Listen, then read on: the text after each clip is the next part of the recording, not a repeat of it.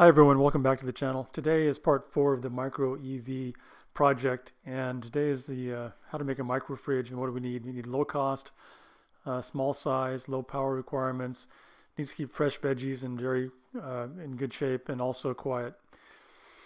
So options are mini compressors which are available online for but they have uh, they're heavy and they have power usage, thermoelectric coolers and ice coolers which is obviously cheap.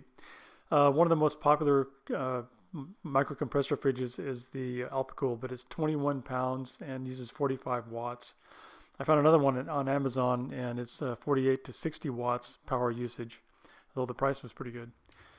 Um, I have this one, which I had from an old Christmas gift, a thermoelectric cooler, and uh, you can actually pick one up on eBay uh, for around 25 bucks uh, as well, if you can't find it in a garage sale somewhere. Uh, but it only uses around 36, whether it is focused, 36 watts. And again, it's a really small size as well. Uh, so it'll fit uh, in the i3, both in the back and wherever I need to put it. Also, it's uh, only 5.4 pounds, which is you know one quarter of the weight of the uh, small compressors. And again, with the uh, kitchen deck we put into the uh, i3 so far, it'll fit underneath the storage bins. So it looks like it's a better choice to do thermoelectric. But uh, can we make it more efficient? So here I took an old HelloFresh, which is a food delivery service box, and to put it in there, and we actually got down to 29 and a half degrees, which is enough to make ice. So what about adding a thermostat? So I got this off uh, Amazon for $8.99 because I'm cheap and I didn't want to pay $5 more for the Fahrenheit version. And uh, then tried to see if I could install that into the fridge. So a little Dremel tooling here to get the uh, plastic case opened up so I could fit this in there. And uh, then mounted it inside and it's enough it'll clear the uh, other electrical components inside. Uh, barely, but it does fit and then we have the display on the outside. So it looks like it uh, worked pretty well. The uh, thermocouple for temperature measurement, I had to drill a little hole into the uh, cool area.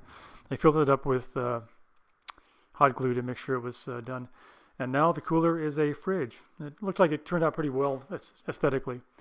Uh, unfortunately, the directions for this thermostat were not in English, so it was a bit of a challenge.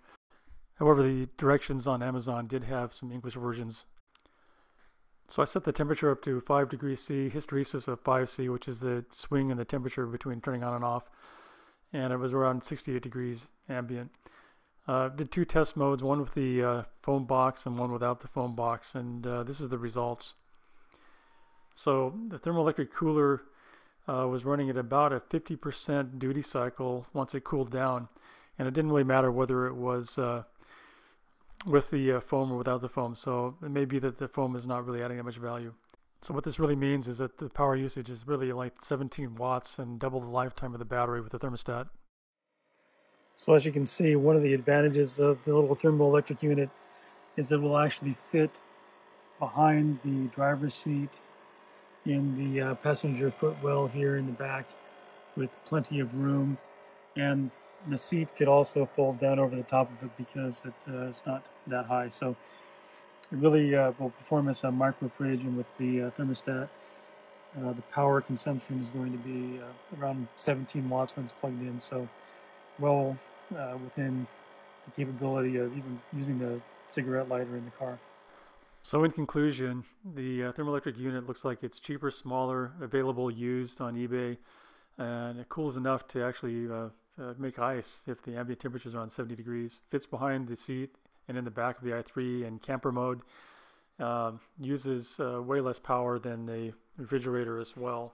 And finally, adding a foam insulation around the unit wasn't as effective as the adding of the uh, thermostat for efficiency and space. Anyway, thanks for watching, and uh, please subscribe if you haven't subscribed already.